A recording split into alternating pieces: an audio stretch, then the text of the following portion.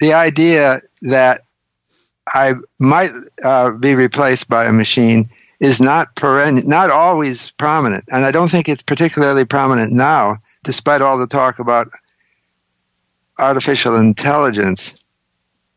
But it does at times uh, seem to affect people's judgments about whether to spend or invest.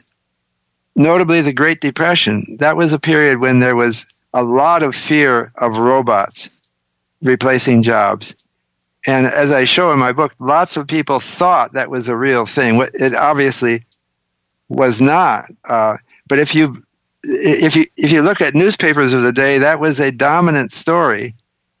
And then then let's get back to thinking about decisions.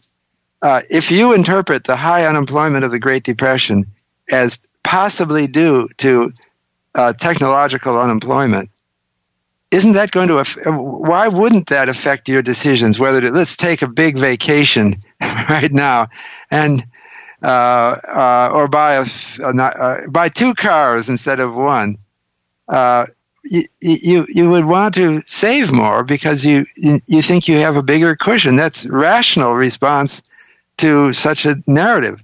So we know that the narrative was prominent and we know what a rational response would be to the narrative so why are we doubting that it was important at that time? And I think now the artificial intelligence narrative may become more ominous if we hit another recession. Then there will be people saying it's due to machines. And then there won't be any way to prove they're wrong.